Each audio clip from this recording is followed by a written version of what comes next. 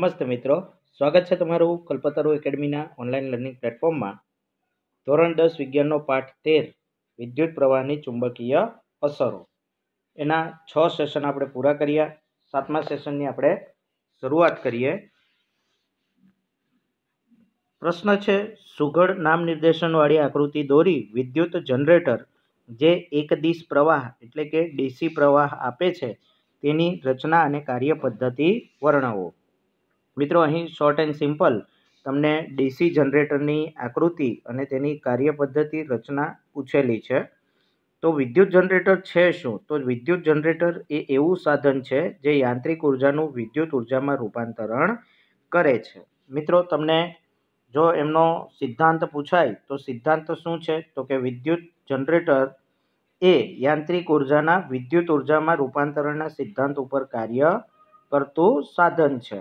અને એની જે કાર્ય પદ્ધતિ છે, એ વિદ્યુત ચુંબકીય પ્રેરણ ઉપર આધારિત છે.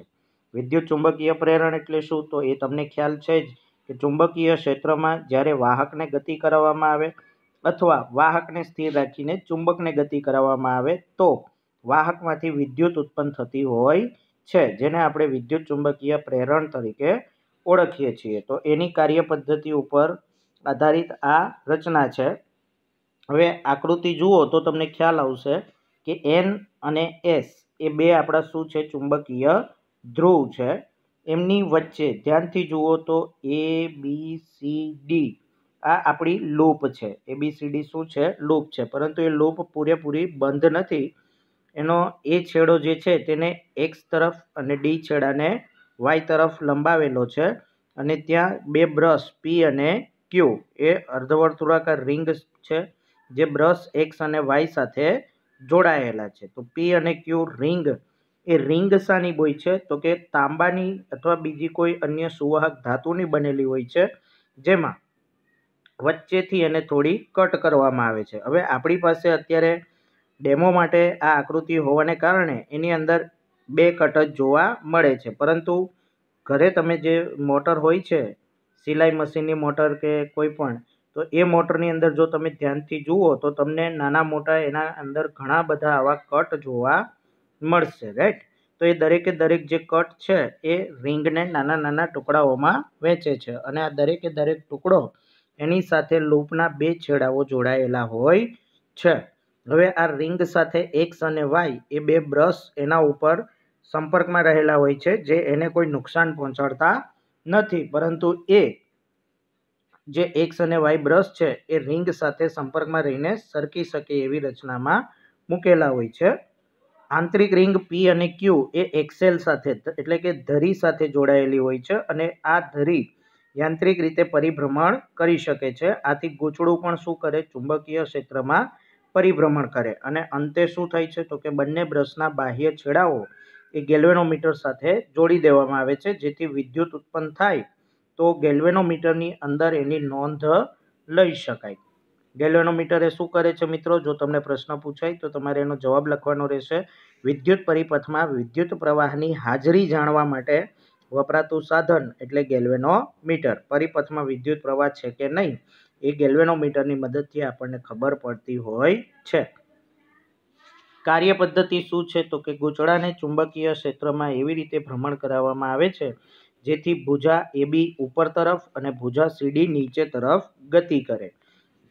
મિત્રો, અહીં તમે ધ્યાનથી જુઓ તો ભુજા એબીને ઉપરની તરફ જવાનું છે રાઈટ તો અહીં તમે ફ્લેમિંગનો ડાબા હાથનો નિયમ લાગુ પાડશો એટલે ભુજા એબી ઉપર જશે અને સીડી ક્યાં જશે? નીચે જશે. હવે આ ગતિ ખાસ ધ્યાનમાં રાખવાની છે તમારે. એ બી ઉપર અને સીડી નીચે જાય. એને પરિણામે ગૂંચળા ગૂંચળાની બાજુઓ એ બી અને સીડી એમાં વિદ્યુત પ્રવાહ પ્રેરિત થાય છે. આ રીતે પ્રેરિત થતો વિદ્યુત પ્રવાહ એ ફ્લેમિંગના જમણા હાથના નિયમનો ઉપયોગ કરીને શોધી શકાય છે અને એ પ્રમાણે પ્રેરિત વિદ્યુત પ્રવાહની દિશા. હવે તમે અહીંયા ધ્યાનથી જુઓ તો વિદ્યુત પ્રવાહની જે દિશા છે એ દિશાનો માર્ગ B A X G Y D C B. અથવા ઘણી વખત શું થતું હોય છે તો કે A B C D Y Q sorry, D Q Y G P X A આ પ્રકારે પણ લઈ શકાતો હોય છે. તો આ પ્રકારે ઉત્પન્ન થતો જે વિદ્યુત પ્રવાહ છે, એ આકૃતિની અંદર બતાવ્યો છે અને એ પ્રેરિત વિદ્યુત પ્રવાહ છે. કેવો છે? પ્રેરિત વિદ્યુત પ્રવાહ. ગૂંચળાનું અડધું પરિભ્રમણ પૂરું થાય એ પછી બ્રશ પી સોરી જે રિંગ પી છે, એ બ્રશ વાયના સંપર્કમાં આવે છે અને રિંગ ક્યુ એ બ્રશ એક્સના સંપર્કમાં આવે છે. એટલે સંપૂર્ણપણે જે ગતિ છે, એ ગતિ બદલાઈ જાય છે. એટલે એક્સ અને વાયની સાથે પી અને ક્યુ સંપર્કમાં છે. અહીં તમે જોઈ શકો છો એક્સ પી અને વાય ક્યુ તો હવે ક્રમ બદલાઈ જશે. પીની જગ્યાએ શું આવી જાય પીની જગ્યાએ ક્યુ આવી જાય. એટલે એક્સ અને ક્યુ જોડાય છે, જ્યારે વાય અને પી જોડાય છે. તો આને કારણે શું થાય છે કે જે સીડી ભુજાની અંદર પ્રવાહ વહેતો હતો એની દિશા તમે જુઓ તો એ દિશા જ્યારે સીડી આ તરફ આવશે ત્યારે દિશા બદલાઈ જાય છે. તો સીડી હવે નીચે જશે, એ બી ઉપર જશે. તો હંમેશા એક જ દિશામાં ગૂંચળું પરિભ્રમણ કરતું હોવાને કારણે ઉત્પન્ન થતો પ્રવાહ પણ એક જ દિશાનો મળે છે. આથી તેને એકદિશ પ્રવાહ તરીકે ઓળખવામાં આવે છે અને આ પ્રકારના જનરેટરને ડીસી જનરેટર તરીકે ઓળખાય છે. ચોત્રીસમો પ્રશ્ન છે એકદિશ પ્રવાહ પર ટૂંક નોંધ લખો. તો આ વિદ્યુત પ્રવાહ માત્ર ને માત્ર એક જ દિશામાં વહે છે. જો સમય સાથે વોલ્ટેજ ન બદલાય, તો વિદ્યુત પ્રવાહનું મૂલ્ય અચળ રહે છે. એટલે વિદ્યુત પ્રવાહનું મૂલ્ય શાની ઉપર અસર કરે છે અથવા આધાર રાખે છે? તો સમય સાથે વોલ્ટેજ બદલાવો ના જોઈએ. તો અને તો જ વિદ્યુત પ્રવાહનું મૂલ્ય અચળ રહે. કોસ બેટરી એના દ્વારા મળતો વિદ્યુત પ્રવાહ એક જ દિશામાં હોય છે, જેને એક દિશ પ્રવાહ ડીસી તરીકે પણ ઓળખવામાં આવે છે. અને જે જનરેટર એક દિશ પ્રવાહ ડીસી ઉત્પન્ન કરે છે, તેને ડીસી જનરેટર તરીકે પણ ઓળખાય છે અને આ જનરેટરને સાદી ભાષામાં ડાયનેમો તરીકે પણ ઓળખવામાં આવે છે. મિત્રો, મોબાઈલ ફોનની બેટરી છે, રેડિયો, ટેલિફોન, એમની અંદર જે રિસીવર જે આવે છે, એ વાયરલેસ રિસીવર હોય છે. તો એમની અંદર પણ બેટરીનો ઉપયોગ થતો હોય છે. ત્યારબાદ ઘડિયાળ, લેપટોપ વગેરે સાધનોની અંદર જે બેટરી વપરાય છે, એ બેટરી ડીસી પ્રવાહ ઉત્પન્ન કરનારી બેટરી હોય છે. એ પછી નેક્સ્ટ પ્રશ્ન છે, ઉલટ સુલટ પ્રવાહ અથવા પ્રત્યાવર્તી પ્રવાહ એટલે કે અલ્ટરનેટ કરંટ એના વિશે ટૂંક નોંધ લખો. તો જે વિદ્યુત પ્રવાહની દિશા અને મૂલ્ય સમય સાથે આવર્ત રીતે બદલાય તેને પ્રત્યાવર્તી પ્રવાહ એસી તરીકે ઓળખવામાં આવે છે. સમય સાથે ઉપર જતો હોય, સમય સાથે નીચે આવતો હોય. તો મિત્રો, અહીં તમને ડીસી પ્રવાહનો જો ગ્રાફ પૂછાય, તો એ આ પ્રકારે અચળ ગ્રાફ આવશે. જ્યારે એસી પ્રવાહનો ગ્રાફ પૂછાય, તો એ સમય સાથે ઉપર નીચે, એટલે કે તરંગ આકારનો એ તમારે દર્શાવવાનો રહેશે. ભારતની અંદર જોઈએ તો ઘરગથ્થુ હેતુ માટે બસો વીસ વોલ્ટેજ એસી ઘરગથ્થુ એટલે ઘરમાં આપણે જે વિદ્યુત પ્રવાહ વાપરીએ છીએ તેની વાત છે. તો એ બસો વીસ વોલ્ટ એસી અને પચાસ હર્ઝ આવૃત્તિનો હોય છે.